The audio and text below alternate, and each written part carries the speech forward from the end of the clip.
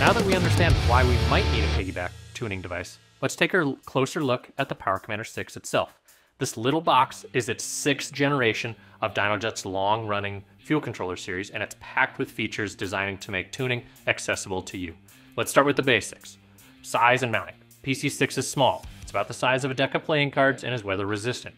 It ships in with Velcro or dual lock strips inside the box so you can mount it on or near your bike's ECU depending on harness routing.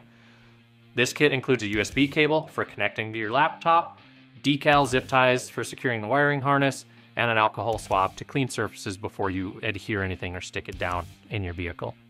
When installed, the unit becomes part of your wiring system running through your vehicle, but it remains removable. So, what can it do? The Power Commander 6 has fuel adjustment. The PC6 allows you to add or subtract up to 15% fuel at any point in the RPM and throttle position range. That might sound like a lot, but it reflects how precise modern tuning needs to be. If your bike is lean at mid RPM cruise, you might only need to add 2 to 3% fuel to take care of that. If your new high flowing exhaust makes it run lean, lean at high RPM, you need to add even more fuel there. The PC6 gives you the ability to fine tune across the entire map. Ignition adjustment. On models where ignition control is supported, you can advance or retard timing up to 8 degrees. Advancing timing can improve throttle response, add mid range power, or even top end power to gain that ultimate power number. Retarding it may help with detonation control or smooth out power delivery in that lower region running lower octane fuel even. Not all bikes allow ignition control through the PC6, so check the product description for your model.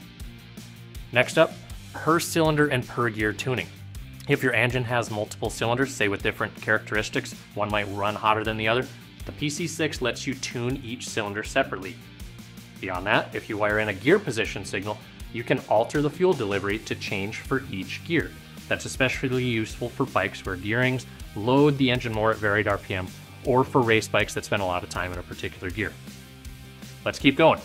Dual map storage. The Power Commander 6 stores two independent fuel maps simultaneously.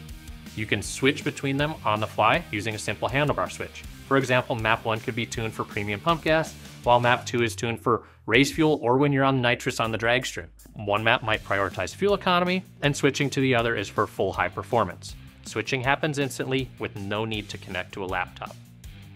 Accessory inputs and outputs. The terminal strip of the Power Commander 6 contains screw terminals for inserting our accessories. You can wire in a quick shifter, which senses pressure on your shift lever and tells the PC6 to cut fuel ignition or both for a millisecond, allowing you to shift without the clutch. There's an analog input for things like a pressure signal or an engine temperature sensor, which can then be leveraged to alter fueling delivery on that analog signal. There's a speed input, so PC6 can calculate gear position if the bike doesn't already provide it. This is also helpful for a pit lane speed limiter if you need to stay at a certain speed. And then there's even launch control. With a button on your handlebar, the PC6 can limit engine RPM for consistent launches. All of these configurations are altered in PowerCore, Dynojet's tuning software for Windows. Plug the PC6 into your laptop, turn the bike's ignition on to power the module, and you'll see live data. Edit maps, send them back and forth to the device. Lastly, a note about legality. Power Commander line of products is legal until it's not.